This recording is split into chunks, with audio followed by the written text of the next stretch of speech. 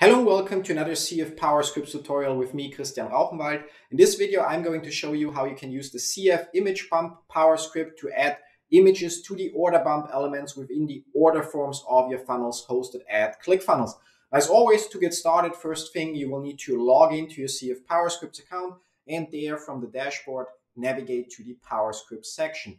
Now, since this script specifically works on your order form funnel steps, you will need to pick your funnel and pick your order form funnel step. Since I've got two order form funnel steps here, a regular order form and a two-step order form, I'm going to show you quickly how it works for both of them. And we're going to start with the regular order form by clicking on that funnel step. Now, if you don't run a split test, you only will see one funnel step page down here. But if you are like me running a split test, you will see two. The first thing you want to do is you want to click on add new and you want to look for the image bump power script and simply click on it and pick the bump image position. You can just select above checkbox for now, and then later you can edit the script and try the other positions as well to see which fits best for the images on your funnel step. Now click on add script to add it to your funnel.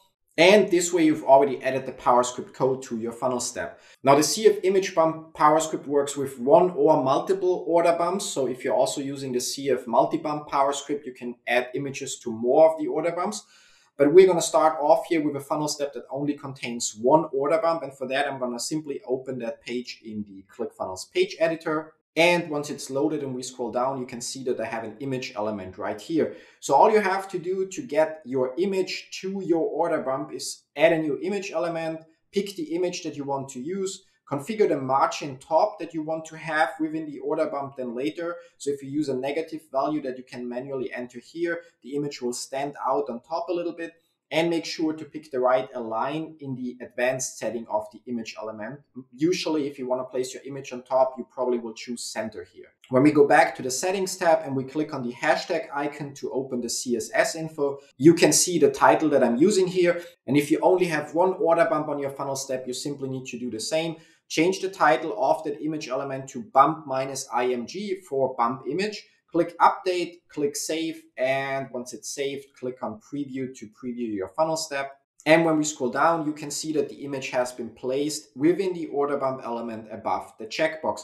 Now again, you can also play around with the script settings and place the image below the checkbox, left of the text or right of the text.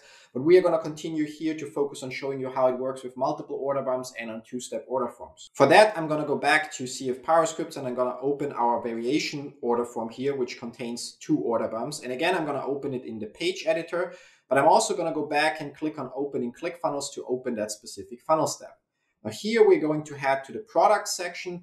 And as you can see, we have our regular products and we have our order bump products. If you want to know how to add multiple order bumps to your funnels using the CF Multibump Power Script, I recommend that you watch the CF Multibump step-by-step tutorial for that. Here we are assuming that you've already done that. And in order to add images to both order bumps, you will need to click on edit and get the product ID from the URL in the browser's address bar. It's the last number that you can find in the URL straight after products slash. So that's the product ID. And you simply copy it and you go back to the page editor where you should already have your multiple order bumps set up. So now you simply add multiple images. So one for each order bump and you click on the image. You go to the settings again by clicking on the hashtag icon and you have to change the title to bump minus img minus the product ID. So bump minus image minus product ID. This maps the image to a specific order bump. And you need to do this for all of your order bumps. So you can see my second image here already also has a product ID attached to it. And when you then save your page and you preview it, you can see once we scroll down that both our order bumps have the images added within the order bump box. Again, you can also change the settings for the placement of the image and place it below the checkbox, left of the text or right of the text. But we are going to move on to show you the small difference there is with two-step order forms.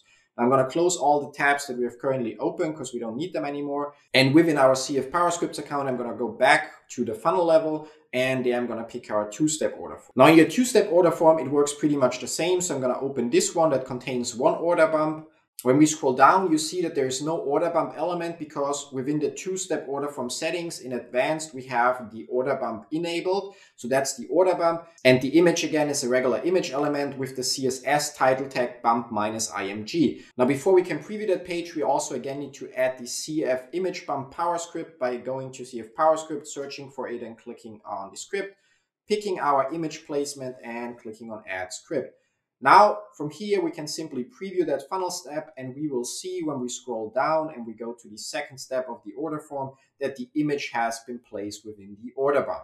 Now, when we go back to CF PowerScript and we open our variation here, which contains multiple order bumps, you can see that it works exactly the same. Assuming you've already set up the order bumps, one is within the order form element and the second one would be here as a separate order bump element and adding multiple pictures, and just like for the regular order form, you need to go to get CSS info and change the title text to bump minus image minus the product ID of that specific order bump. And when we preview that funnel step and we scroll down and go to the second step of the two-step order form, you can see that we have both order bumps in here and both of them have an image attached to it because both images in here have the corresponding title tags with the matching product IDs. So that's it. That's how you can use the CF image bump power script to add images to your order bumps in ClickFunnels, either only to one order bump if you're just using the image bump script without the multi-bump script, or if you simply don't have multiple order bumps,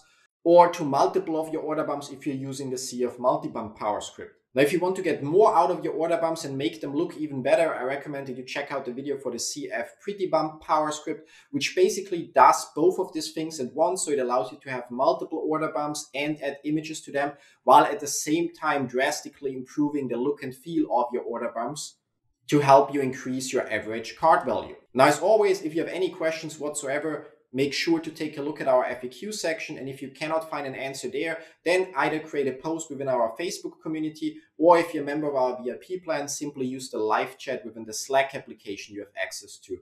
Thanks for watching, and even more so, thanks for using CF PowerScripts. See you in one of our other videos. Till then, bye bye.